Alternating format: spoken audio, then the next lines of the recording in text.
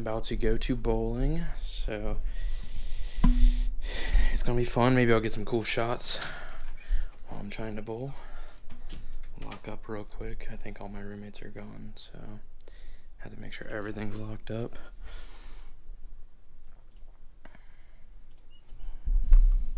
Make sure I got everything.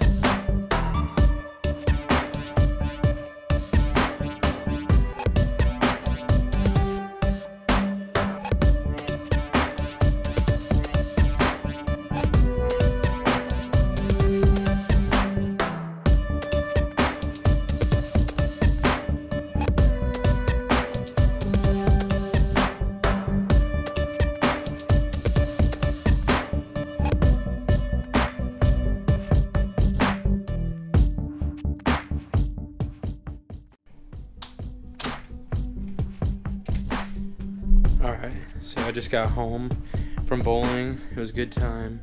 Um, some of the uh, videos that will be mixed into here will be uh, of a body cam, and that is one of my friends from bowling. His name's Ben. Uh, he's pretty cool. Um, he's a two-hander, so I decided to use the body mount on him because being one-handed bowler, you wouldn't be able to see very much other than the one arm um, every now and then. So body mount on him, took some time lapses, and then we were hungry, so the four of us decided to go to Steak and Shake, even though Sierra is a vegetarian.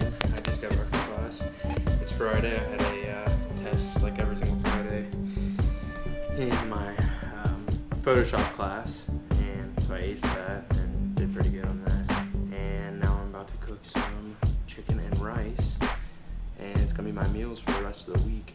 So hopefully I make it good, or else I'm not gonna be eating for the rest of the weekend.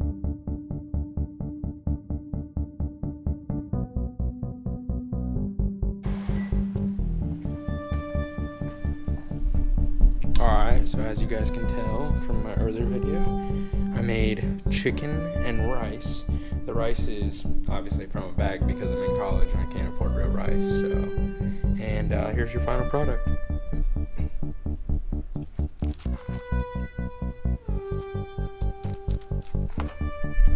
It's pretty good. Me and Kylie made it one time. Um, she thinks she messed it up, but I don't think she messed it up. But it was actually really, really good, and I ate it for like two or three days after that. So I plan on eating this for the whole weekend.